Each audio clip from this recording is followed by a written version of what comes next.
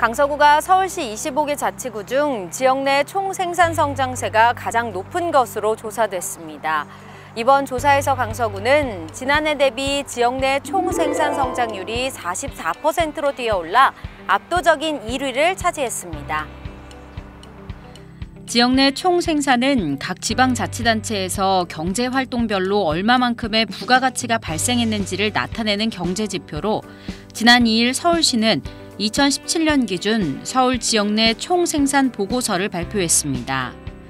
보고에 따르면 2017년도 강서구 지역 내 총 생산 규모는 16조 7,720억 원으로 전년 대비 44.3%의 성장률을 나타냈습니다. 강서구는 정보통신업을 비롯해 사업 서비스와 부동산 임대업 등에서 두 배 이상 성장했으며 특히 마곡지구 개발로 LG 사이언스파크, 롯데 컨소시엄 등 대규모 연구시설과 건설업체 등이 입주한 부분이 큰 역할을 차지했습니다.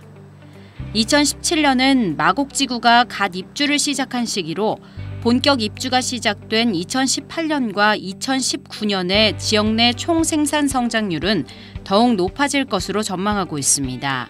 한편 강서구는 지난해 한국공공자치연구원이 실시한 2019년 한국지방자치 경쟁력 지수 평가에서 서울시 25개 자치구 중 지난 10년간 가장 혁신적인 성장을 이뤄낸 지자체로 평가받은 바 있습니다.